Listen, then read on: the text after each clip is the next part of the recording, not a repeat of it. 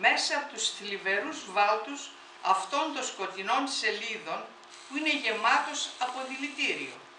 Γιατί μόνον αν διαθέτει με το διάβασμά του μια στεναρή λογική και πνευματική ένταση, τουλάχιστον ίση με εκείνη της δυσπιστίας του, τα θανάσιμα νοήματα αυτού του βιβλίου θα διαποτίσουν την ψυχή του όπως το νερό της ζάχαρης. Δεν είναι καλός, καλό όλος ο κόσμος να διαβάσει τις σελίδες που θα ακολουθήσουν. Μερικοί μόνον θα γευτούν αυτό το πικρό φρούτο χωρίς κίνδυνο.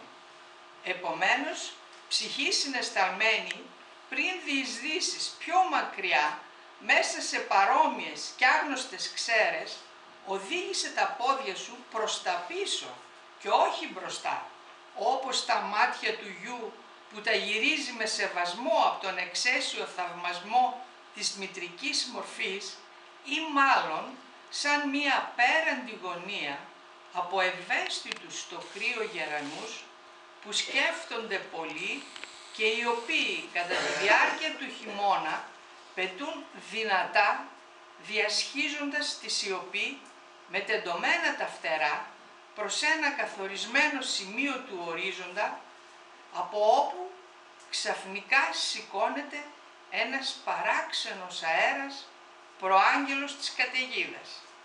Το άσμα του Μαλνταντόρ, πρώτο άσμα 1868, μετάφραση Πάρης Φορεό.